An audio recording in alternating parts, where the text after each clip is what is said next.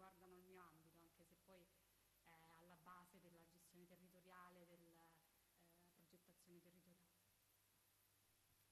Sì, scusate, la gestione territoriale.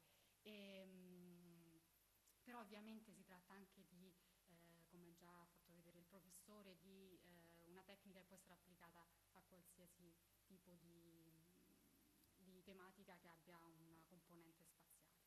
Parlando di database geografico abbiamo eh, componenti principali. Allora abbiamo una componente spaziale, quindi le posizioni x e y, eventualmente z, non sempre compresa però l'elevazione quindi del dato su un, uh, viene in mente da pensare, quindi un uh, rilievo eh, topografico e quindi i dati sull'altezza sul livello del mare. E una componente semantica che sono proprio gli attributi e una componente relazionale, quindi le relazioni che intercorrono tra i vari oggetti geografici. Rispetto ai database tradizionali è contenuta quindi la geometria degli oggetti e non soltanto gli attributi.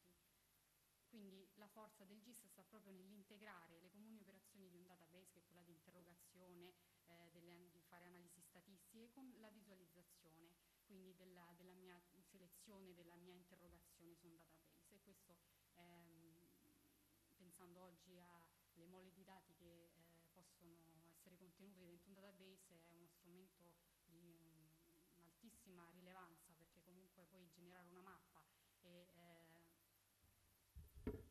generare una mappa, una, uh, comunque una, visual, cioè una, visualizzazione comunque immediata del dato e permette comunque delle analisi successive di arrivare a dei livelli più uh, avanzati di, di, informazione. Allora, veniamo un po' alle componenti. Abbiamo una componente hardware che può essere un singolo PC oppure un sistema client server, poi abbiamo il software che ci sono quindi strumenti ed estensioni atte ad immagazzinare, visualizzare, analizzare i geodati. Poi abbiamo i dati veri e propri, che possono essere già dati che sono stati elaborati da, da terze persone, che quindi magari sono stati pubblicati e quindi sono a nostra disposizione, oppure possono essere dati che produciamo noi, quindi con nostri rilievi, poi abbiamo i metodi, quindi le metodologie diverse per obiettivi diversi ovviamente a seconda delle finalità degli studi e le persone. Qua però io ho voluto distinguere, c'è un personale che ehm, si interessa del, del, proprio della gestione, poi il mantenimento di un sistema informativo e quindi che permette l'aggiornamento dei dati, eh, la pubblicazione dei dati e poi ci sono gli utenti che utilizzano i prodotti. Ora, se uno va a cercare su internet una definizione, non, ce, ne esiste una ehm, eh, canonica o una che esclude l'altra, ne esistono migliaia di definizioni, forse questa è una delle più complete e che quindi un sistema informativo geografico è un insieme complesso delle componenti ecco, hardware, software, risorse umane, intellettive, per permettere l'acquisizione, l'immagazzinamento, il processamento, che sottolineava anche il professore, l'analisi, la visualizzazione e la restituzione di informazioni derivanti da dati geografici.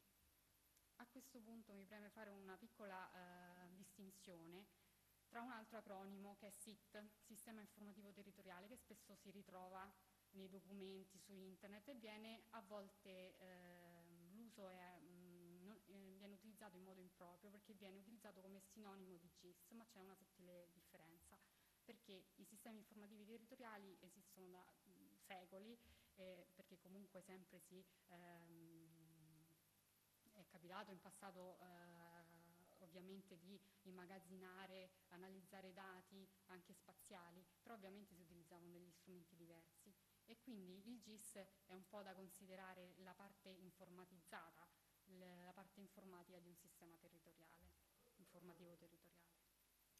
Ora GIS, quindi con questo acronimo possiamo ehm, intendere un tipo di sistema informativo, quello territoriale, un software, e ce ne sono diversi tipi, ora li vedremo, e poi un tipo di approccio, un, un approccio analitico di tipo spaziale.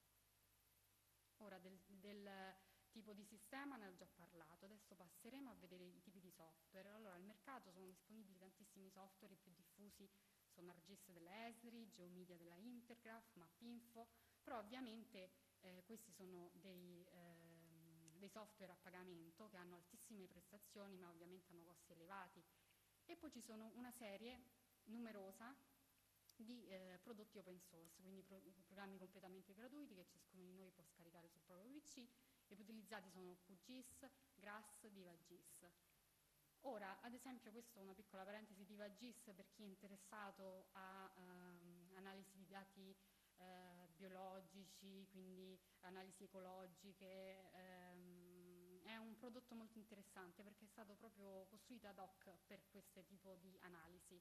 E, um, e, molto spesso, anche se ovviamente questi, la differenza con i prodotti, quelli a pagamento, è una minore ehm, ovviamente qualità di, eh, a livello di possibilità di fare delle analisi o comunque di gestione di eh, grosse mole di dati però ehm, se appunto uno non ha a che fare con eh, grosse, quindi parlo di milioni di record, eh, si può utilizzare DivaGIS e anzi ha dei, eh, dei, tool proprio ad hoc e sono molto più immediati, quindi le analisi eh, che uno potrebbe fare invece con un software ArcGIS. Quindi alla fine molto spesso succede che eh, vale un po' caso per caso, se un progetto può benissimo essere svolto con un open source dipende appunto dalla tipologia di dato che abbiamo e dei nostri scopi, quindi ovviamente hanno appunto questi limiti, però dipende caso per caso che cosa si può utilizzare.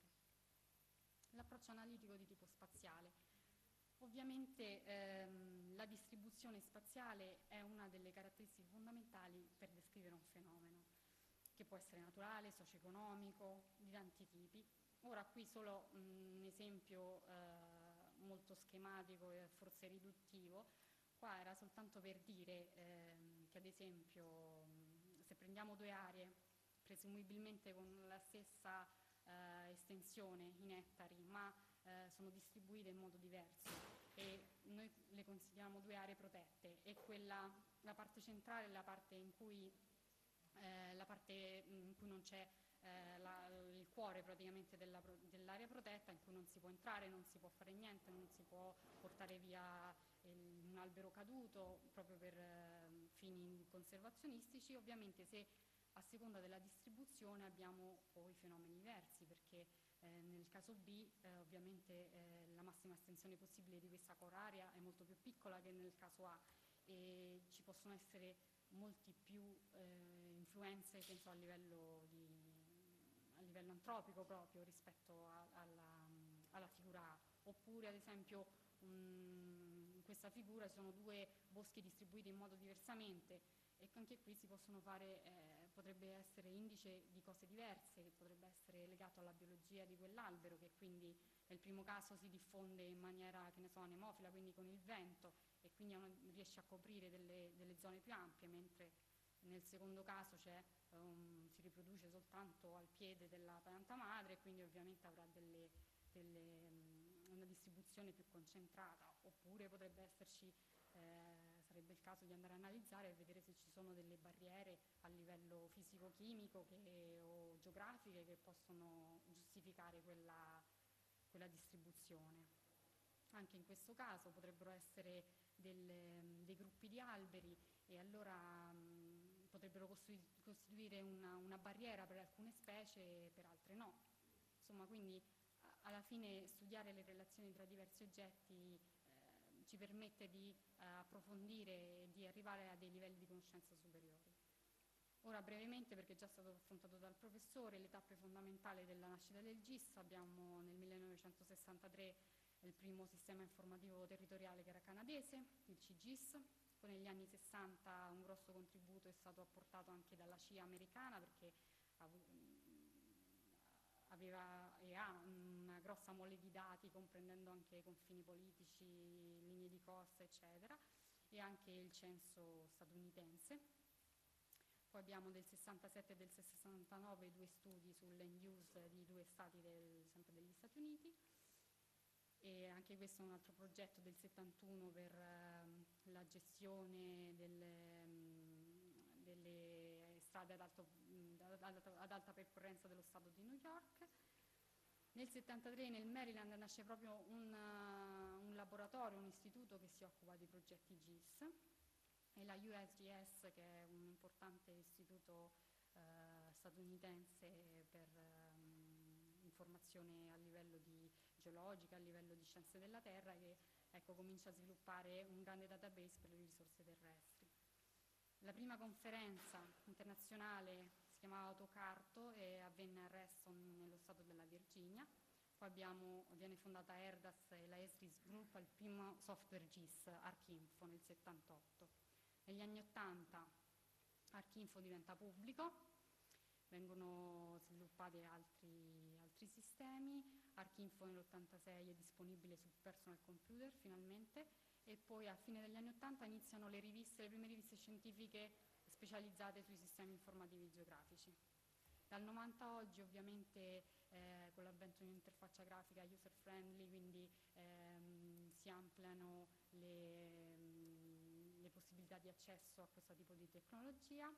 Il Libano nello stesso anno progetta con il GIS la sua rete elettrica nazionale, nasce lo Xerox Park Map Viewer, cioè ehm, che tra i primi web mapping nel 1993 e nascono anche a livello europeo delle varie organizzazioni che si occupano di GIS e dei sistemi informativi geografici.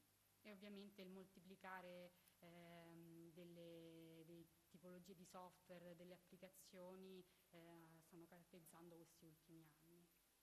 Ora, ehm, ovviamente il GIS ha avuto l'apporto di ehm, diverse, il contributo di diverse discipline, dalla geografia alla cartografia, la fotogrammetria, eh, la geodesia, la statistica, l'ingegneria, l'informatica, il rilevamento. E, ehm, ovviamente mh, è esemplificativo anche questo caso, in cui eh, davanti a me ci sono studenti di tantissime diverse facoltà che quindi tutte quante convergono verso l'utilizzo di questo GIS. E quando nei progetti, quando si parla di appunto, gestione ter- territoriale, ehm, in generale è ovvio che eh, ciascuno con il suo background può dare un, un, apporto diverso e questa è una ricchezza, però eh, per essere poi alla fine mh, un sistema fatto bene ci deve essere, e che funzioni un progetto di questo tipo, ci deve essere sempre una persona, una figura professionale che riesca a... A tenere unito tutte le, le, varie competenze diverse, a, eh, che riesca a far dialogare le persone con competenze diverse, perché abbiamo gli ingegneri, gli informatici, naturalisti e biologi, eh, persone che eh, a volte hanno difficoltà anche a comunicare tra di loro, quindi mh, per costruire un buon sistema informativo geografico bisogna sia considerare tutti gli apporti che vengono dagli archeologi, gli architetti, ma anche eh, una figura serve che riesca a farli dialogare insieme. Grande potenziale applicativo eh, risiede nella sua eh, struttura funzionale, quindi la possibilità di sovrapposizione topologica, la possibilità di fare interrogazioni, le query, la possibilità di analisi geostatistiche e di interpolazione. Sovrapposizione topologica. Allora, quindi con un GIS siamo in grado di visualizzare e sovrapporre diverse carte tematiche di una determinata zona, mantenendo la corrispondenza delle coordinate geografiche della scala e quindi delle distanze. Questi vari livelli informativi strati vengono chiamati layer e ogni punto su un layer coincide con il suo corrispondente in uno o più o altri layer e tutti fanno riferimento al sistema di coordinate ehm, che noi abbiamo o che è stato utilizzato per costruire quel, quel, dataset o che noi decidiamo di utilizzare per costruire ex novo un sistema informativo. E quindi longitudine e latitudine è il nostro strato base. Un GIS è un sistema dinamico per la possibilità appunto di separare le informazioni dei diversi livelli, combinarle e combinandole trovare eh, nuovi livelli di informazione. Si parla appunto di map algebra, quindi addizione e sottrazione di uno o più layer per ottenere un nuovo strato informativo. Ora vediamo che, da che cosa possono essere costituiti, costituiti questi layers. Possono essere fotografie satellitari, possono essere fotografie aeree, possono essere immagini riclassificate, poi le vedremo caso per caso. Possono essere altre tipologie di mappe, può essere una vecchia carta scannerizzata importata dentro un sistema informativo, possono essere mappe derivanti dall'importare dei dati GPS, quindi dei punti, oppure possono essere altre mappe di tipo poligonale. Quindi una grande varietà di dati. Questo solo a titolo sì, per specificare ecco, che eh, attraverso lo scanner vengono importate le vecchie cartografie o comunque delle cartografie che non sono disponibili a livello digitale, oppure esistono dei tavoli che, con cui si digitalizzano dei punti magari di interesse, io non, magari non mi interessa importare tutta la mappa, voglio soltanto importare dei punti e lo si fa tramite questo strumento.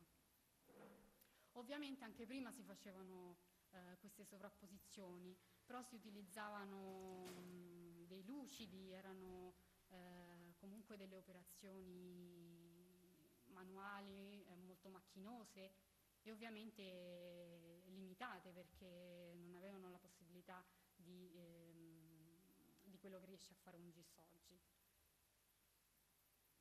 Concretamente quindi serve un sistema informativo eh, geografico a integrare le informazioni, a risolvere problemi più o meno complessi, a visualizzare scenari, quindi pensiamo anche a tutti eh, i vari modelli di cambiamento climatico, eh, quindi anche de- tra 50 anni eh, con le dovute insomma, cautele uno deve prendere questi modelli, però comunque scenari futuri, validare e sviluppare ipotesi. Ora ecco, volevo eh, fare un attimo una carrellata di tutto eh, il potenziale applicativo. Ovviamente il monitoraggio ambientale si potrebbero fare milioni di esempi, dall'evoluzione di una costa, da, quindi studiando le immagini, vecchie immagini o vecchie cartografie ad oggi, oppure eh, per esempio è stato fatto, mh, un, adesso stanno facendo degli studi eh, utilizzando dei sistemi radar da terra che mandano un impulso per monitorare le frane e riescono ad acquisire dei, una moltitudine di punti e quindi monitorare real time la frana di quanto si muove anche di, a livello di millimetri. Oppure anche un altro studio interessante è stato fatto eh, a seguito di un incendio pineta di Castelporziano vicino Roma. Ehm, attraverso immagini satellitari e immagini aeree sono stati eh, costruiti dei modelli di eh, propagazione del fuoco, degli incendi e ehm, è stato quindi studiato in base alla distribuzione dei sentieri, alla presenza o meno di materiale organico morto, eh, quindi mh, rami, aghi di pino lasciati lì così in base al, al, vento prevalente e quindi hanno studiato e poi preso dei provvedimenti ovviamente per uh, evitare o arginare eventuali incendi futuri. La pianificazione territoriale, ormai praticamente eh, molte amministrazioni comunali hanno il loro ufficio con il loro gruppo GIS eh, per sia fornire servizi sia ai cittadini che anche per turisti, quindi applicazioni, si sta molto diffondendo anche a livello amministrativo. Gestioni di rete tecnologiche, tutti quelli noi, eh, di cui noi siamo clienti, gestori telefonici, eh, ad esempio eh, mi è capitato di lavorare in Wind eh, per un sistema GIS, hanno eh, ormai tutte queste grandi compagnie hanno dietro un ufficio, un, un, gruppo GIS che si occupa delle coperture, delle reti, di tutta la gestione dei dati dei clienti e hanno dei file enormi perché sarebbe impensabile eh, poterli gestire eh, come si, mh, si gestivano prima dell'avvento del GIS. Io eh, mi è capitato di lavorare con tabelle di 6 milioni di record, ma e già mi ero meravigliata, poi ho scoperto che una tabella poteva avere 120 milioni di record loro utilizzano come strumento di gestione del database, eh, si chiama Database Management System, Oracle, quindi lui può gestire tabelle di 120 milioni di record. Il catasto, che man mano si sta digitalizzando e quindi anche lui sta utilizzando eh, i sistemi informativi, conservazione dei beni culturali e turismo, eh, ovviamente la prolificazione di, mh, di, guide turistiche, mappe nuove sentieristiche, eh, navigatori per trekking, eh, tutto un altro settore. E per i beni culturali posso aggiungere per l'archeologia che mh, negli ultimi anni un, un, negli ultimi decenni un impulso era stato dato dalle fotografie aeree, in quanto eh, sono state fatte anche delle scoperte interessanti grazie soltanto alla fotografia aerea. C'era un esempio, purtroppo non mi ricordo bene il sito, però era in nord Italia, in cui eh, osservando una fotografia aerea si era notato una differenza nella, nella vegetazione che era um, praticamente erbacea e eh, c'era praticamente delle, delle, fasce che avevano una, un disegno geometrico non naturale ovviamente. Allora poi andando a fare delle indagini, quindi scavando in quella zona, hanno trovato le fondamenta di un castello e questo perché proprio quindi a pochi centimetri dalla superficie la presenza di questo muretto, di queste fondamenta, eh, creava un, praticamente un microclima diverso e alla fine le piante, quindi la stessa specie, eh, però su quella, mh, su quella, porzione ovviamente trovava delle condizioni di microclimate a livello di ehm, eh, umidità e temperatura nel, nel, suolo e quindi si sviluppava fenologicamente diver diversamente. Oggi eh, un grande impulso è dato eh, sempre dal telerilevamento con le applicazioni di immagini radar. E proprio ehm, l'ultima novità, l'ultima frontiera che sta avendo un sacco di successo e praticamente il radar riuscendo ad arrivare a avere informazioni anche a livello sotto la superficie terrestre, sono stati trovati, si stanno facendo degli studi ehm, eh, praticamente riescono a ritrovare dei grossi siti a livello appunto di eh, città o comunque grossi siti di culto eh, proprio grazie alle applicazioni delle immagini radar. Abbiamo il recupero ambientale, ad esempio mi viene in mente, anche qui si potrebbero fare tantissimi esempi, mi viene in mente anche lungo il litorale romano sono stati fatti delle opere di recupero ambientale contro la speculazione edilizia e anche i stabilimenti balneari per salvare gli ambienti dunali e retrodunali e quindi sono state poi piantate le piante della macchia mediterranea e si è monitorato poi eh, il recupero ambientale e quindi come eh, riuscivano a riprendersi il loro territorio ovviamente. Studi di impatto ambientale, ovviamente quindi anche eh, la costruzione di un'infrastruttura da ponti a dighe, una semplice strada, ehm, una discarica, hanno tutte anche per legge bisogno di un studio di impatto ambientale e quindi si avvalgono della tecnologia GIS. Studio sul traffico e i trasporti.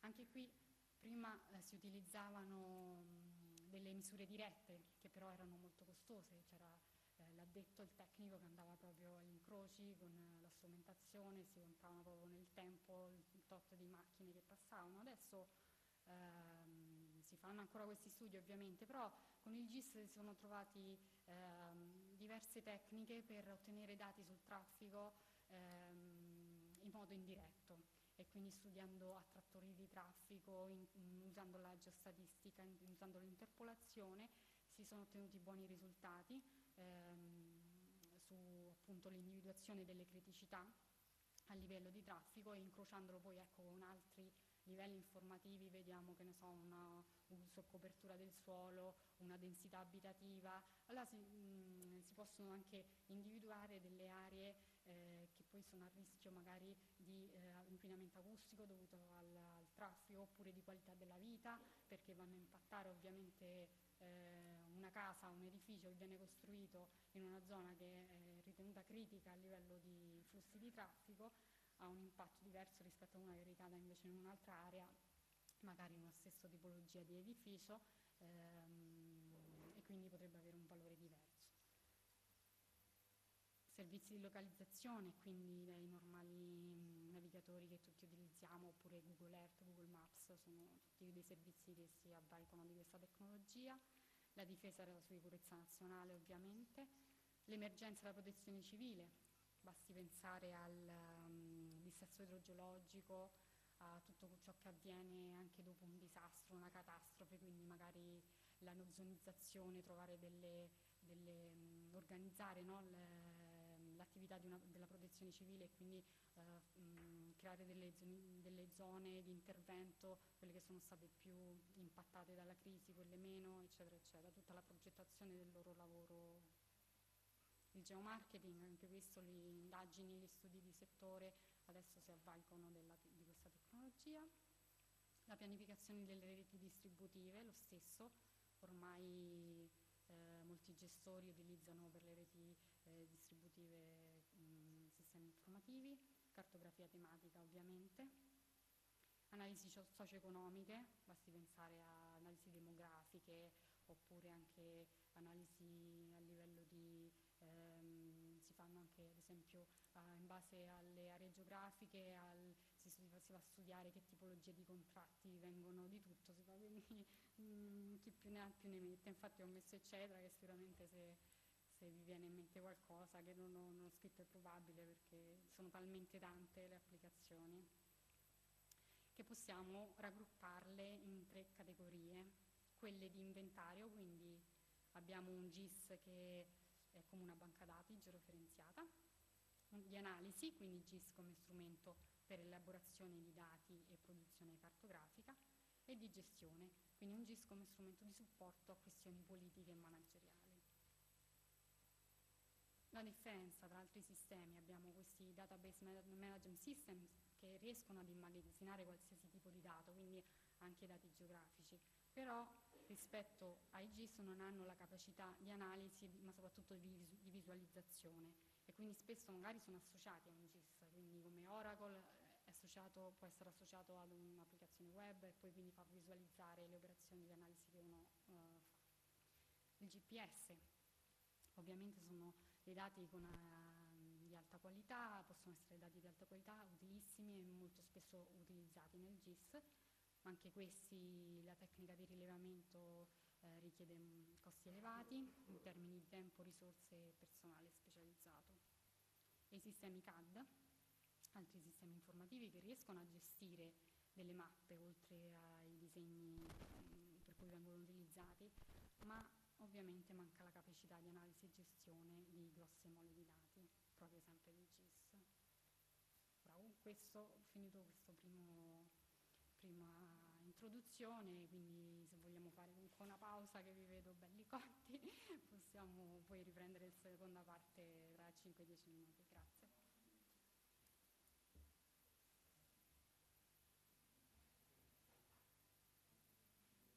Grazie. Seconda parte su modelli di rappresentazione e le relazioni spaziali.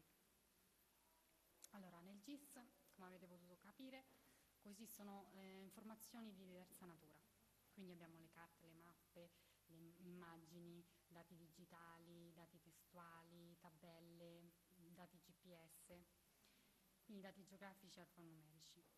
I sistemi GIS quindi consentono l'analisi e l'integrazione di tutte eh, queste diverse tipologie di dati. Ora, esistono eh, due modelli eh, per descrivere la componente geografica della realtà. Abbiamo un modello vettoriale e un modello raster di cui aveva accennato il professore. Ora, quindi un modello è un insieme di costrutti per rappresentare aspetti del mondo reale, quindi le entità geografiche e le reazioni che intercorrono tra essi e che sia il più possibile vicino al vero, quindi un, modello, un buon modello si avvicina il più possibile alla um, situazione reale. È ovvio che resta un'astrazione, una semplificazione della realtà e eh, i modelli sono costruiti a partire da principi diversi e quindi ovviamente hanno strutture diverse e rispondono anche ad esigenze diverse. Le relazioni che intercorrono tra i vari oggetti dei modelli sono studiate dalla topologia. Topologia sta per un termine deriva dal greco, topos, logo, eh, luogo, logos, studio, che è una branca della matematica che studia le proprietà geometriche delle figure e che quindi che non dipendono dalle misure, ma sono legate ai problemi di deformazione delle figure stesse. Infatti, per eh, queste tre figure che sono geometricamente diverse, quindi un cerchio, un quadrato e un'ellisse, sono eh, figure equivalenti per eh, la topologia, in quanto sono deformabili l'una nell'altra senza che avvengano delle rotture, delle linee, delle sovrapposizioni. Quindi sono tutte delle curve eh, chiuse semplici. Ora vediamo, passiamo in rassegna i due modelli. Il modello vettoriale. Allora, gli oggetti vettoriali sono costituiti da degli elementi semplici che sono dette primitive e abbiamo i punti, le linee e le aree. I punti tutti, eh, possono rappresentare degli oggetti puntuali, qualsiasi che vi vengono in mente, possono essere alberi, pozzi, possono essere eh, villaggi, siti di rilevamento di qualche eh, dato, campionamento di qualche tipo e sono rappresentati ovviamente eh, da una coppia di coordinate x, y, eventualmente z. Poi abbiamo le linee, gli elementi lineari che rappresentano le strade, i fiumi, eh, siepi, eh, qualsiasi cosa che ehm, nel mondo reale può essere rappresentato da una linea. E quindi sono una serie in realtà le linee di punti, quindi di coordinate x, y. E poi abbiamo gli elementi areali che possono essere dei, dei bacini idrografici, possono essere dei confini amministrativi e sono rappresentati da poligoni, quindi da archi e da punti, quindi sarebbero dei vertici, i punti e gli archi sarebbero poi alla fine delle linee. Il modello raster invece rappresenta la realtà utilizzando una griglia, una griglia di righe e colonne che formano, eh, da cui si ottengono delle celle tutte uguali di misura. Ad ogni cella è associata una coppia di coordinate che ne identifica la posizione eh, nello spazio e ad ogni cella, questo in senso generale, poi vedremo le differenze, è associato un valore, in genere numerico, che si, ri- si, riferisce ad un attributo geografico. Questa è la definizione che danno un po' del modello raster. Ma esistono diversi tipi di raster. Il primo è un raster fisico, quindi eh, il valore eh, ad ogni cella è associato un valore che è la misura di una grandezza continua. Ad esempio l'elevazione del terreno, quindi io posso misurare, eh, questa è un'immagine, è un modello digitale del terreno, io posso misurare in qualsiasi punto di questa immagine l'elevazione sul livello del mare.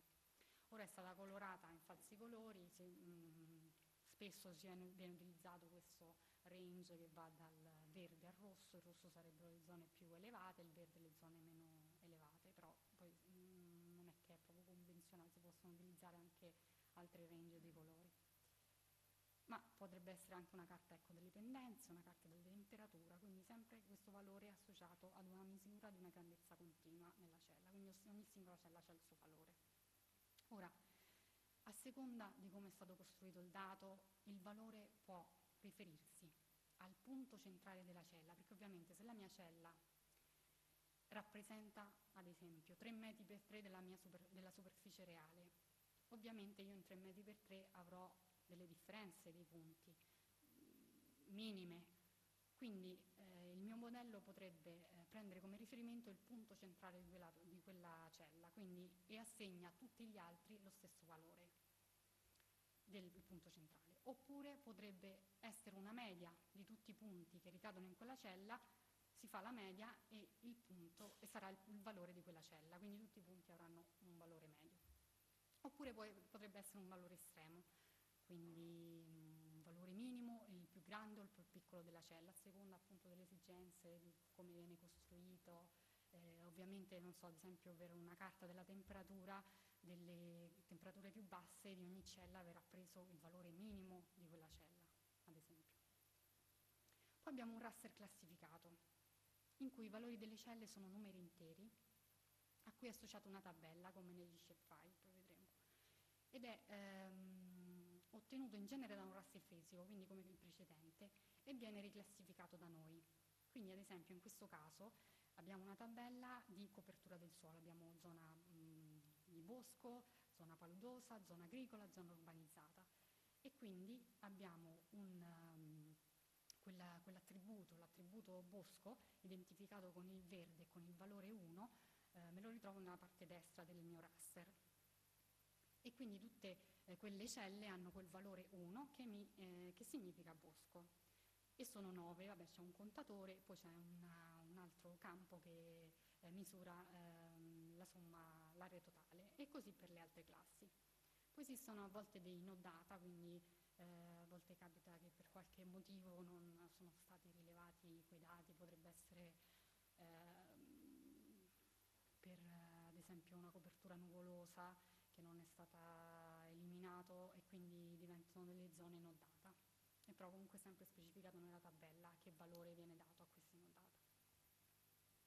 Poi abbiamo il raster di un'immagine, quindi ogni cella del raster, stiamo parlando di immagini satellitari, che voi sapete eh, quindi che la radiazione solare arriva sulla superficie terrestre, sono, una parte di questa superficie viene riflessa, una parte viene assorbita e quindi poi emessa e quindi ehm, i sensori rilevano poi le risposte e poi tramite il processamento si arriva all'immagine satellitare. Ora, e potrebbe essere anche però un impulso da, a partire da un sensore artificiale, da fonti artificiali come i radar, quindi lanciano un impulso e misurano la risposta.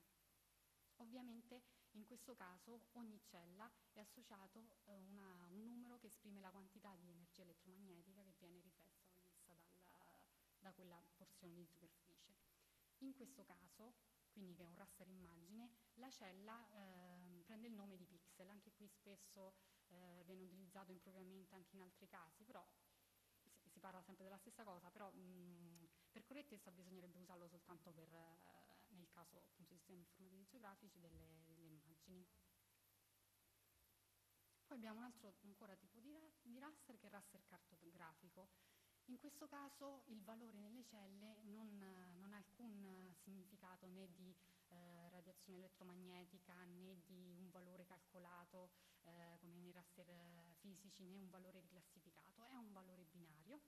Ad esempio questo è avvenuto dalla scannerizzazione di una, una cartografia di una vecchia tavoletta e, ehm, e, quindi corrisponde alla presenza o meno del, del tratto grafico in quella cella. Quindi ecco, non si tratta di un attributo geografico né una di una classe di appartenenza. Ora vediamo un po' i due modelli a confronto. Nel mondo diciamo, vettoriale dei punti sarebbero rappresentati come in alto a sinistra e invece il raster assegna quel valore 1 a tutta la cella. Secondo caso vediamo le linee, come due modelli, nei due modelli sono rappresentate e in fondo i, delle aree dei poligoni. Questo sempre confrontando i due modelli, questo è un modello sempre di copertura del suolo perché vediamo eh, non è associato al vettoriale la leggenda ma sarebbe praticamente la stessa dove arancione l'ambiente costruito, il blu eh, acqua, verde scuro foreste, verde chiaro zone paludose. E sono due modi quindi di rappresentare la realtà. Nel primo caso si, eh, si notano quindi i poligoni che sono le aree piene, no? che sono delimitati da, eh, come dicevamo prima, i vertici, che sono comunque punti, e dagli archi, che poi volendo alla fine si tratta sempre di linee che a loro volta sono composte da punti. Ora c'è da dire che questi sono due modi appunto di interpretare la realtà. In genere non è proprio sempre, sempre così, però in generale si può dire che il vettoriale è applicato ai dati discreti il raster a quelli continui. Un dato discreto, esempi, quindi che hanno una distribuzione discontinua. Si tratta di elementi reali che hanno dei limiti ben precisi. Quindi ad esempio possono edifici, dei fiumi, dei confini regionali, le strade, qualsiasi altra cosa vi possa venire in mente di questo tipo. E quindi in alto a destra abbiamo, eh, sono dei bacini idrografici, quindi c'è l'asta principale e tutti i vari affluenti secondari. Poi abbiamo in basso delle piante degli edifici e poi abbiamo, se non ricordo male, sono dei punti di mh, mm, GPS di alberi di una tipologia di specie che sono stati rilevati. Quindi sempre si tratta tre casi, tre esempi di eh, distribuzione eh, discreta, discontinua. Infatti nella stessa mappa io ho punti con il dato e punti senza il dato. Nel modello continuo, che invece è rappresentato dai raster, la distribuzione è appunto continua, quindi sono in funzione della posizione, io li posso misurare in qualsiasi punto della mia immagine. Sempre in alto abbiamo un altro modello del terreno, sempre in rosso sono digitali del terreno, in rosso sono le zone più elevate, al centro vedete c'è una valle, quindi le zone più, che man degradano di, di elevazione sul livello del mare fino ad arrivare a presumibilmente un corso d'acqua eh, che la incide. E in fondo invece abbiamo un'immagine ad alta risoluzione, anche questa una distribuzione continua. E questo è un dettaglio di Roma, sicuramente avete riconosciuto San Pietro e Castel Sant'Angelo. E quindi questo è il modello continuo. Ora parliamo sempre confrontando i due modelli raster vettoriali di risoluzione. Per quanto riguarda il modello vettoriale, eh, noi possiamo modificare i dati, possiamo mh, arrivare a, mh, ci sono in, quasi in tutti i software, eh, sia open source che a pagamento, ci sono gli strumenti dei tool per zoomare, quindi zoom in e zoom out, e eh, mh, se voi provate a zoomare su una linea di un vettoriale, continuate, continuate, continuate, avrete sempre la stessa definizione, perché appunto e la qualità, si parla che è un modello scalabile, perché è indipendente dalla risoluzione. Mentre per quanto riguarda i raster, ovviamente eh, invece dipendono dal numero, eh, questa definizione che dipendono dal numero di celle, quindi dai pixel, nell'unità di misura che è in genere il pollice, quindi poi alla fin fine in soldoni dipende dalla grandezza della cella, quindi più piccola più la, sarà alta la risoluzione, più grande meno sarà alta la, meno sarà sì, alta la risoluzione. Ora, abbiamo visto che sono due modelli per rappresentare la realtà, ma e si può passare da un modello all'altro a seconda delle esigenze, però ci sono, eh, appunto abbiamo detto, delle tipologie di dati che mh, mm, si possono rappresentare solo in un modo e tipologie di dati solo in un altro, o che comunque non ha senso, ad esempio eh, se io ho un confine amministrativo, quindi ho questa linea ehm, delinea il, il, confine comunale, non ha senso riprodurlo in un raster come, come raster e eh, si passa da un modello all'altro a seconda dei casi. Ad esempio, se io sto eh, lavorando con una serie di dati raster su, ad esempio, dati climatici, quindi del 2000, 2001, 2003, 2003 poi guarda caso c'è eh, oppure di copertura del suolo, quindi differenze di, di copertura del suolo di, di, diversi anni. Poi guarda caso eh, era disponibile invece per l'anno 2010 solo un vettoriale di questo dato, quindi come abbiamo visto sopra, ecco qua, una carta di copertura uso e copertura del suolo di eh, vettoriale. Per fare determinate analisi, sul, eh, vedrete poi nei successivi giorni, eh, proprio praticamente, di addizione, sottrazione, confronto, io devo, oggi devo lavorare con modelli dello stesso tipo per alcune tipologie di analisi. Quindi in quel caso varrebbe la pena di trasformarlo e ci sono dei tool specifici per passare da un sistema a un un raster. Comunque dipende poi caso per caso dalla tipologia del dato e eh, appunto se vale la pena o meno, insomma. Non tutti i software però questi lo possono fare.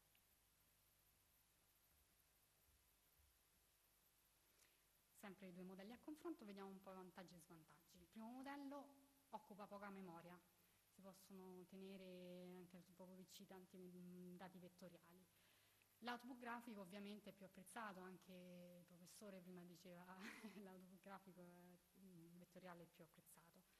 Il modello raster, la struttura dei dati è più semplice e sono più semplici le analisi, le, le procedure spaziali.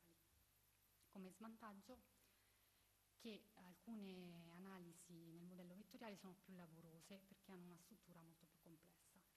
E invece in modello raster serve molta memoria, quindi molto spesso vengono eh, questi raster messi su hard disk esterni oppure vengono utilizzati eh, tagliando nella porzione di interesse e quindi lasciando tutto l'altro resto dell'informazione, eliminandola, eh, proprio perché occupano tantissima memoria.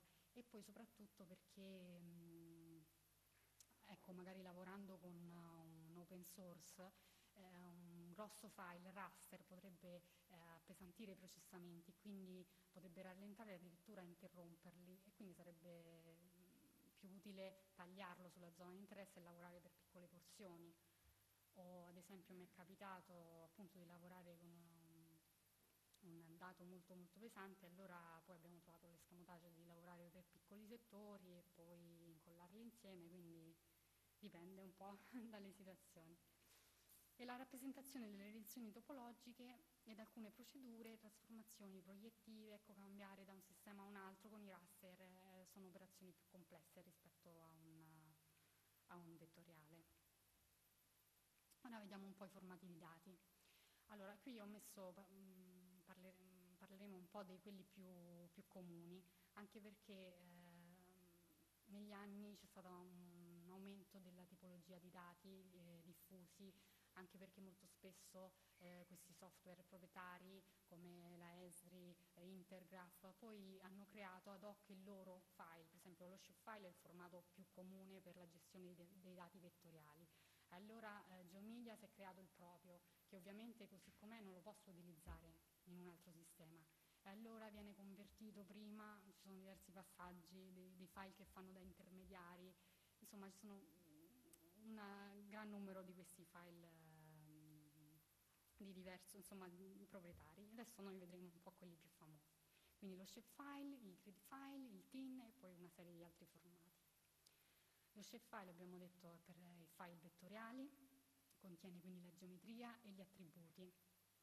Ora, attributi ve lo anticipo anche se poi ne parleremo domani nel, nella, diciamo, nel capitolo delle tabelle, che ovviamente se voi pensate a una mappa eh, è formata ecco, come quella che ho fatto vedere prima di copertura del suolo da diversi poligoni, poi quella tabellina accanto sarebbe l'attributo. Quindi a ogni poligono è associato dietro una tabella con il suo record e il suo valore, questo in linea generale. Quindi eh, il formato vettoriale contiene la geometria, quindi posso vedere il mio poligono e gli attributi, posso vedere la tabella di un elemento spaziale. Essere, lo shapefile può essere di tipo punto, quindi possono essere linee, possono essere poligoni, io li posso mettere tutti insieme nel mio GIS, nel mio sistema informativo, farli interagire tra di loro perché comunque sono sempre dello stesso tipologia. Lo shapefile comprende eh, tre file con lo stesso nome ma con estensioni diverse. Abbiamo il file SHP, che è il file che contiene la geometria, il file DBF, che contiene gli attributi e quindi il database, la tabella che c'è dietro, e il file contenente l'indice delle geometrie SHX. Ora, questi ehm, vengono usati ovviamente come un pacchetto, anche se ad esempio il DBF può essere aperto da altri programmi, voglio, non so, non posso visualizzare la mappa, però voglio accedere ai dati, io posso aprirmi il DBF ad esempio su Microsoft Access, posso aprirmi al con altri sistemi, oppure posso, mh, magari ecco, capita che eh, devo, nel mio sistema informativo mi serve una tabella di riferimento che però non ha una componente spaziale o comunque il dato, poi la mappa non era fornita magari da un gestore, però io comunque posso importarmi il DBF e poi relazionarlo alle altre tabelle degli altri shapefile, degli altri layer. Quindi lo visualizzerò come tabella, ci potrò accedere come tabella. Sempre lo shapefile ha altri eh, file opzionali. Se esiste una leggenda ci sarà un file che contiene la leggenda di estensione AVL. Poi ci saranno altri file che hanno degli indici particolari, indici spaziali, indici sugli attributi, con altri tipi di eh, estensioni, SBN, SBX, estensione AIH, AIN. E poi ci sono, questo è un altro file interessante perché è il file che contiene i metadati. Anche qui anticipando, per chi non sa, il metadato è la descrizione del dato, ovvero come è stato costruito, in che sistema di riferimento, chi l'ha distribuito, chi l'ha pubblicato, insomma tutta una serie di dati che poi eh, chi pubblica una determinata mappa cartografia decide di rendere pubblico o meno, dipende. E poi c'è un file contenente le informazioni sul sistema di coordinate, che è l'estensione PRJ, però anche questo è opzionale, non sempre eh, lo si trova, spesso a, si trova letto con, eh, coordinate sconosciute. Allora uno poi se conosce come è stato insomma, la, la zona di cui che, rappre- che, rappresenta e io sto lavorando in un determinato sistema di coordinate, gli dico di assegnargli quelle stesse coordinate per visualizzarlo poi nel mio GIS. Poi comunque anche queste cose le vedrete eh, a livello applicativo, sarà molto più immediato di queste nozioni teoriche che io vi sto dicendo. Pochi passaggi capirete afferrerete subito la meccanica di, questi, di queste cose. Abbiamo anche un layer file perché io il mio shapefile lo posso personalizzare quanto voglio, quindi posso cambiare i colori, i contorni, ehm, a seconda delle mie esigenze, se ad esempio io voglio mettere in rilievo un aspetto piuttosto che un altro, voglio che le strade ehm, principali abbiano un, uno spessore diverso rispetto alle secondarie, qualsiasi cosa io le posso cambiare e la cosa molto utile è che si può salvare queste modifiche che uno fa, in modo tale che ogni volta che io riapro il mio, il mio programma e ricarico quei dati, io posso ricaricarmi questo layer file e quindi lo, lo, lo riprendo come l'ho lasciato, quindi con le modifiche che ho fatto. E può essere anche richiamato per successivi lavori, per dire ah magari in un secondo momento rilavoro di nuovo sulle strade per esempio e voglio di nuovo ridare quello, quello stile, quindi eh, che le principali siano nere spesse tot e quelle secondarie rosse eh, e quindi richiamo questo file e lui me l'assegna al nuovo. E si possono anche costruire dei gruppi di file, gruppi di layer, sempre con questi specifici parametri e proprietà che posso richiamare alle, secondo le mie esigenze. Il formato grid che è un formato ecco, proprietario della Esri. È eh, un formato raster, quindi è sempre questa matrice di righe e colonne che genera le celle a cui sono associati i valori. È un pacchetto di diversi eh, dati con diverse estensioni. Ecco, però, per esempio, questo qui, eh, file SVGrid, non potrebbe essere aperto da alcuni eh, software. E allora viene esportato come HashGrid, che è un formato non proprietario, che consente appunto di importare e esportare prodotti grid in altri prodotti. Quindi alla fine il risultato io avrò la stessa visualizzazione, però ecco, questo HashGrid, che è un file unico, mi permetterà di importare un, un grid file e ehm, così nel dettaglio eh, nell'HashGrid c'è un, una parte di intestazione che mi descrive la tabella, quindi n colonne, n righe, quanto è grande la cella e poi ci sono eh, come vengono rappresentati i node data se ci sono e poi tutta la serie di valori. E quindi questo è un modo per ehm, importare quindi un dato raster in altri sistemi. Poi abbiamo il formato TIN. Il formato TIN è, ehm, considera lo spazio come tanti triangoli di diversa misura, misura e non uh, sovrapposti. E ci costruiscono in genere eh, i modelli digitali del terreno. Sono stati anche eh, costruiti con file, con file, grid, però ehm, sono meno apprezzati perché proprio a livello di come costruiscono poi a partire dai punti ehm, con il valore della quota, come costruiscono il sistema di interpolazione, eh, fa sì che eh, il sistema TIN restituisce un file più apprezzato. Il grid eh, tende a perdere informazione nelle zone di montagna, in zone meno rilevate, e invece c'è un'abbondanza di punti nelle, nelle zone pianeggianti. Quindi vengono costruiti questi, nel TIN questi triangoli a partire da, eh, da dati che hanno coordinate x, y, z.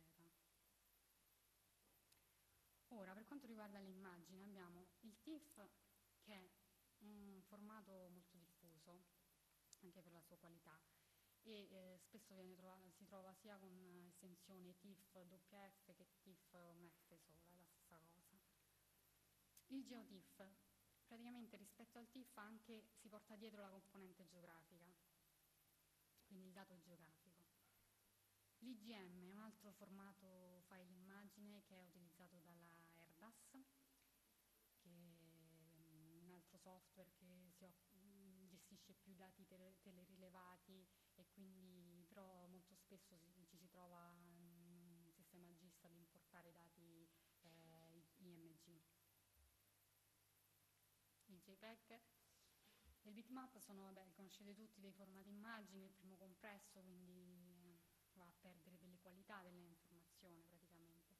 Il formato bitmap invece non compresso, con estensione BMP che è stato sviluppato da Microsoft. Questo in generale ehm, spesso vengono utilizzati come layout, quindi io magari costruisco la mia mappa, poi la voglio eh, esportare, la voglio stampare e quindi si può fare o in genere si usa il PDF, però anche in JPEG, MILMAP, insomma diversi formati, poi a seconda del software che utilizzerete. Ma spesso capita, ehm, mi è capitato di, avevamo una zona, un'area di studio che era praticamente stata disegnata sopra una cartina stampata e poi scannerizzata, insomma, e alla fine era un JPEG e io dovevo riprendere questo confine di quest'area di studio e quindi importarlo nel mio GIS da un JPEG, quindi senza ehm, la componente geografica ovviamente. Quindi si può fare, si importano a volte perché capita, ehm, si deve georeferenziare, quindi una volta che l'avevo georeferenziato, quindi sovrapposto al mio GIS, ho potuto poi disegnare il profilo e quindi creare un poligono che coincidesse con quel profilo e poi l'ho utilizzato. Insomma, poi dipende casi. Ora passiamo a vedere un po' le, i concetti spaziali, le relazioni spaziali.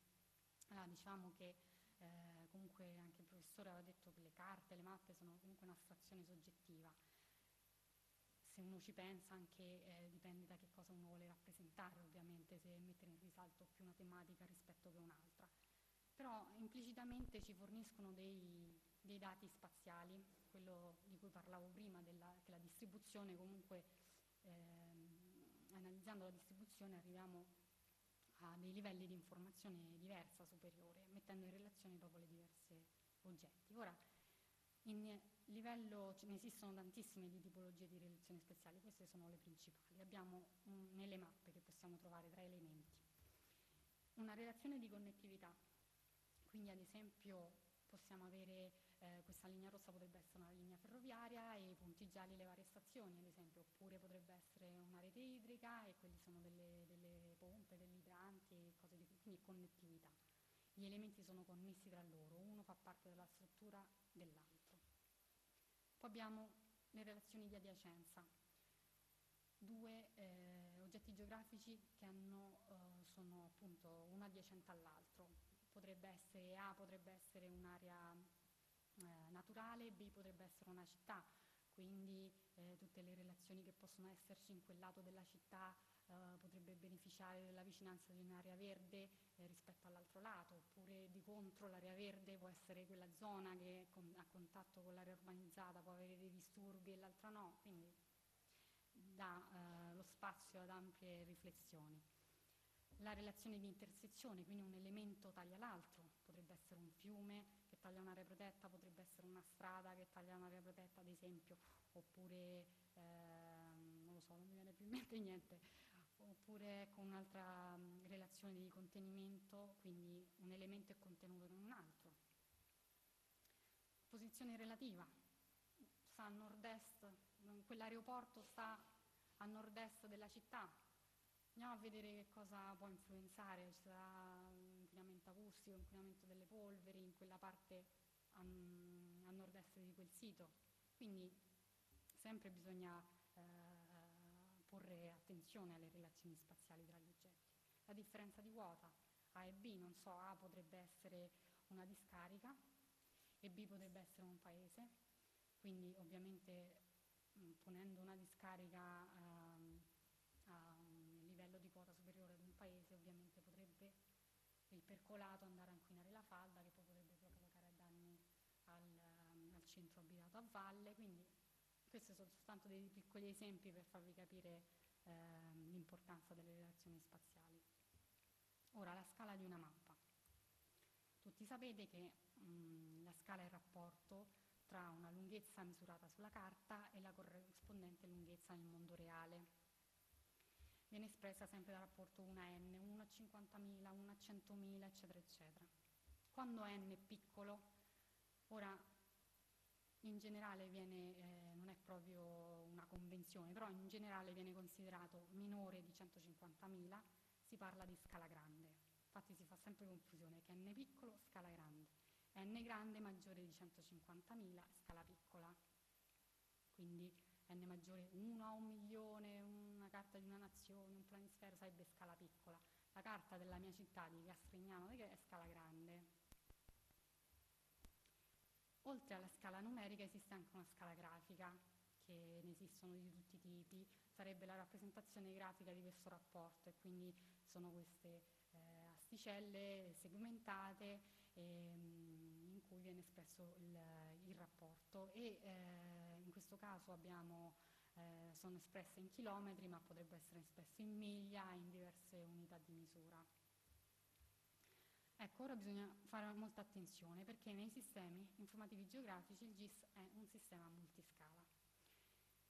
Ora io posso importare nel mio GIS dei dati che hanno, sono stati costruiti con scale diverse, per esempio una, una, una carta geologica a 1 a 100.000, una carta invece so, di un altro tipo a 1 a 5.000, quindi bisogna sempre tenere presente la scala dei dataset che io sto importando.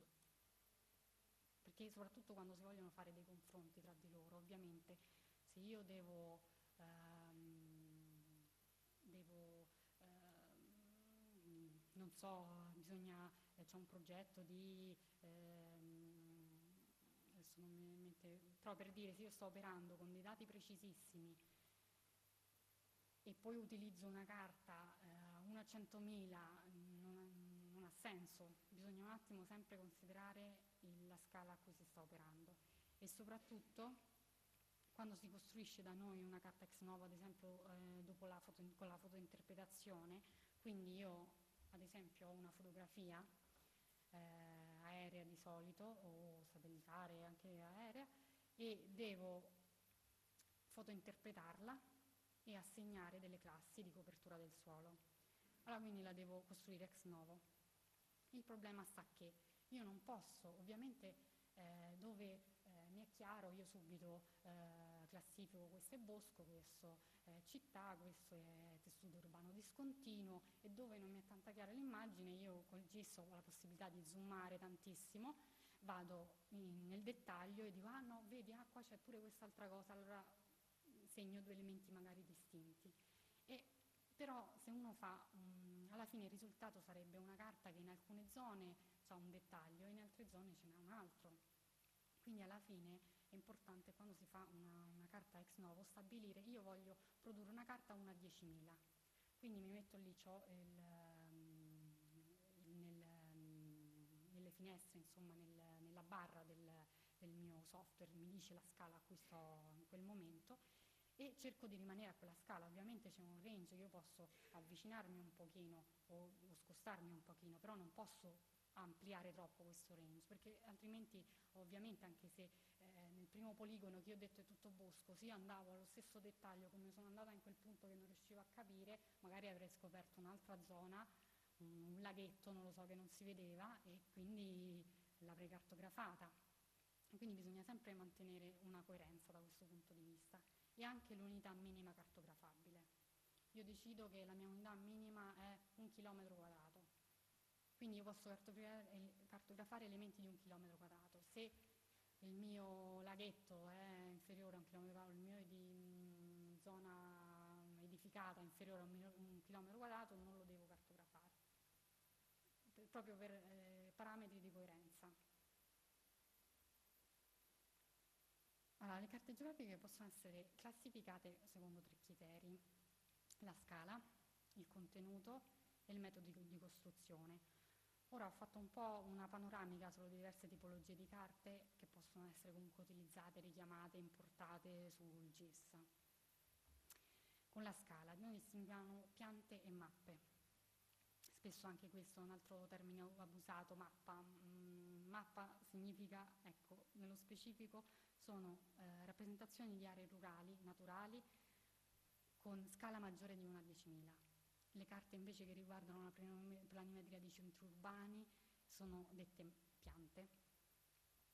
Poi sempre secondo la scala abbiamo delle carte topografiche, che sono di larghissimo uso, con scala che va da 1 a 10.000 a 1 a 150.000 e sono carte comunque dettagliate sia per gli elementi naturali che antropici. Poi abbiamo le carte corografiche con scala 1 a 150.000 o 1 a, un milione, scusate, ehm, che rappresentano porzioni abbastanza grandi della superficie terrestre, eh, spesso si tratta di carte regionali o comunque carte utilizzate che hanno un dettaglio alto per quanto riguarda le le strade, le vie di comunicazione, i, le linee ferroviarie, tutta questa tipologia di attributo.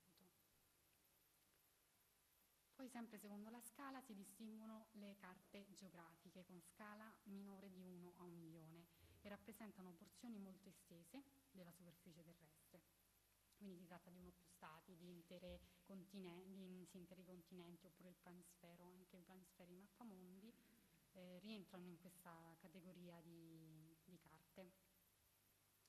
Invece passando al secondo criterio che è il contenuto di una carta, distinguiamo carte generali, che mm, le conoscete tutte, le avete viste sicuramente, sono le carte quelle fisiche che quindi rappresentano gli elementi naturali, le carte politiche, quindi i confini amministrativi, e poi abbiamo anche un mix possibile di carte fisico-politiche che hanno entrambi gli attributi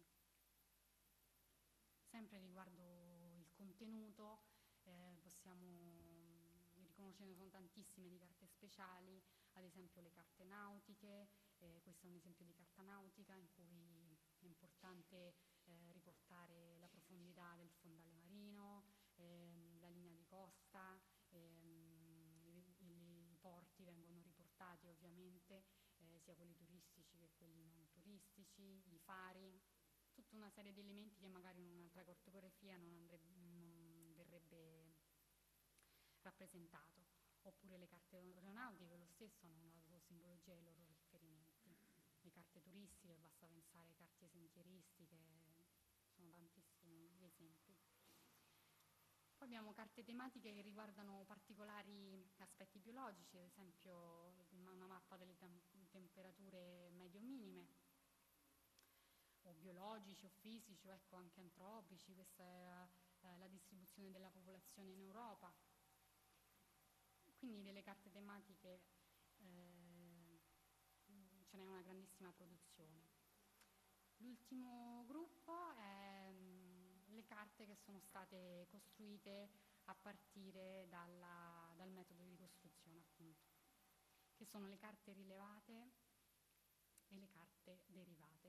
Le carte derivate sono costruite a partire da misure dirette sul terreno, fotografia aerea, e invece le carte derivate son, sono, come dice la parola stessa, derivano dalle rilevate, ma con tutta una serie di semplificazioni eh, di riduzioni a seconda sempre delle esigenze. Ora, negli ultimi decenni ha avuto un grande impulso rappresentazione di grosse, eh, tramite fotografia di grosse porzioni della superficie terrestre che sono eh, scattate da aereo oppure da satelliti. Questo ehm, ha portato a queste aereo fare aerofotografie hanno portato alla costruzione anche di, di, essere considerate delle carte geografiche vere e proprie, perché comunque ehm, a partire da esse vengono costruite queste carte rilevate, perché ovviamente mancano un, della simbologia, della leggenda del, che ha una carta vera e propria. Questo ad esempio è eh, il planisfero che è mh, stato costruito con i dati dell'Envisat, del satellite dell'Agenzia Spaziale Europea, che sfortunatamente ha finito la sua gloriosa carriera nell'aprile, quest'aprile. Hanno provato a ehm, risistemarlo da, da, remoto, quindi da terra, ma non c'è stato niente da fare, quindi è finita la missione. Adesso invece hanno proprio da, da quest'anno, in aprile, c'è stato su internet, penso ci sia pure se cercate il, le riprese del lancio de, che c'è stato del, del primo nuovo satellite, eh, di una famiglia di satelliti, le sentinelle, che stati, verranno lanciate, oh, quest'anno è stato il primo, poi nei prossimi anni altri satelliti, proprio su ehm, equipaggiati di strumenti più sofisticati che abbiamo adesso per eh, Earth Observation, quindi osservazione della Terra, mh, dati sia radar che ottici sicuramente, e adesso stanno già dando i primi, sta già dando i primi dati, insomma. E abbiamo anche le ortofoto. Ortofoto, avete sentito già parlare, è uh, una fotografia aerea che è stata corretta geometricamente e georeferenziata, quindi orto, ritto, significa greco, quindi orto rettificata, e, e in modo tale che un, sia uniforme in tutte le sue parti e eh, che la scala sia uniforme in tutte le sue parti della, della foto, perché ovviamente eh, molto spesso dall'aereo eh, ci sono le, gli errori che vengono dall'inclinazione, eh, dalla topografia, quindi questi, queste correzioni fanno sì che diventi un ortofoto e che si possa assimilare ad una mappa. Così, adesso ecco una, un cenno sulla um, cartografia storica. Ci abbiamo tantissimi dati, anche tantissime carte eh, di, mh, classificate, carte storiche, che alcune hanno mh, hanno, sono state costruite con dei criteri di omogeneità, che, insomma, che quindi possono essere eh, importate anche in un GIS e utilizzate, ma ad esempio questa qui, che dovrebbe essere il lago di Como, quello in basso a destra, ovviamente Mm, non ha questi criteri perché non lo riconoscete neanche forse se non ve lo dicevo io. E, ehm, non ha questi criteri di omogeneità con cui è stata costruita, anche perché molto spesso eh, ci sono delle carte antiche che seguivano più delle, eh, degli stili estetici piuttosto che delle, dei canoni estetici piuttosto che delle eh, rigorose geometrie o proprio per costruire una carta e quindi sarebbe impossibile per esempio importare questa mappa in un sistema informativo perché proprio le relazioni tra i diversi punti non sono reali. E quindi però sono delle carte che ci possono dare un, comunque delle informazioni. Così per finire questa panoramica eh, l'Atlante è una raccolta sistematica di carte a piccola scala di regioni, di continenti che sono quindi numerose carte anche comprese, numerose carte tematiche speciali e proprio Atlante nasce come eh, termine beh, che ha una, un eco nella mitologia nel, greca e latina e richiama a, a, una collezione di carte del famoso geografo Mercatone a cui diede proprio il nome Atlante, da qui poi i nostri Atlanti. Quindi questo dato su anche andare a ricercare la cartografia storica, perché comunque per costruire un buon sistema informativo geografico bisogna basarsi un po' su tutta la tipologia di dati che possiamo avere a disposizione, quindi andare a vedere anche i dati in letteratura, eh, dati anche testuali, eh, se uno deve fare una ricerca veramente approfondita, anche dell'evoluzione di un paesaggio, di, le dinamiche che intercorrono in un determinato territorio, deve andare a studiare anche tutti questi altri aspetti, quindi non guardare soltanto un settore limitato, ma anche ecco, ampliare la propria visione ad altri, ad altri aspetti del, possono, da cui si può comunque trarre informazioni. Questo, io con questo avrei finito, se voi avete delle domande, delle curiosità, posso dirvi questa qua iniziale, un'immagine satellitare, questa è le mie zone, sono, io sono romana eh, ma abito ai Castelli Romani, questi sono i Castelli Romani, questa è una foto Landsat, una foto satellitare a um, falsi colori che mette in evidenza in rosso sono tutte le, le, le, parti vegetate, mentre in quello azzurrino che vedete sarebbero le costruzioni. Grande, questo è il vulcano laziale, quindi abbiamo sulla destra, vostra pure penso, vedete mh, il lago di Albano di Castel Gandolfo, subito dietro si intravede eh, il lago di Nemi, che sono due crateri vulcanici oggi riempiti da questi laghi, e poi si vede invece a sinistra eh, era un vecchio cono, all'interno di un cono più grande, una struttura complessa.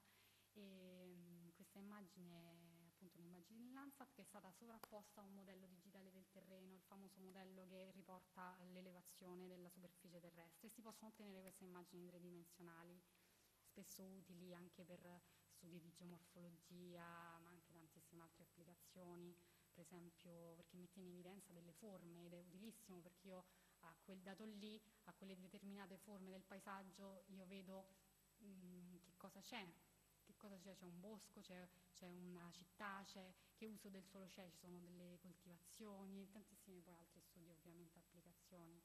In basso a sinistra se vedete questa linea marcata è praticamente una forra, è un vallone e, e infatti guarda caso intorno è tutto costruito, nel vallone che è una gola proprio stretta così è rimasto il bosco, infatti è rosso.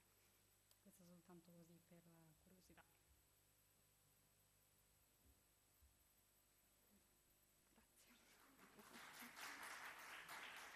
Grazie. Poi ci vedremo domani e parleremo appunto delle coordinate, le tabelle, principali strumenti operativi, la simbologia, mh, mm, introduzione al telerilevamento, gli standard OGC e poi le, che risorse sul web ci sono. Sì.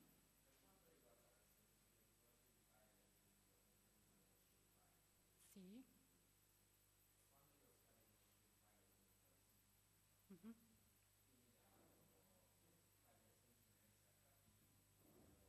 Poi dicevamo, vabbè, insomma tutti i file con diverse estensioni che riguardano una singola tavoletta, se così possiamo sì. chiamarla. Ma quando io poi rielaboro ad esempio gli attributi sul, nel software, l'estensione del file, cioè il file con l'estensione DBF, che è quello riguardante gli attributi certo. se non ricordo male, si modifica in automatico? Certo. Ah, poi vedrete... Il salvataggio poi dello shapefile de del lavoro effettuato nel sono, software. sono legati, poi vi farò, ah, aspetta, vabbè, non vi anticipo, vi farò vedere domani, però ehm, concettualmente sia uno shapefile che ci sono poligoni, no? anche provi- le province della Puglia, e io dietro le province della Puglia non so c'è ehm, non so, il, il numero di abitanti, poi magari io voglio prendere questa regione, questa provincia e non le altre e cambiare, aggiornare il numero di popolazione. Quindi il dato che c'è dietro la tabella DBF, eh, oppure eh, ad esempio, scusa, un altro esempio, forse più esemplificato, mm, un'altra poligoni di un altro tipo. Io oppure anche eh, a volte succede che nelle zone comunali cambiano i confini.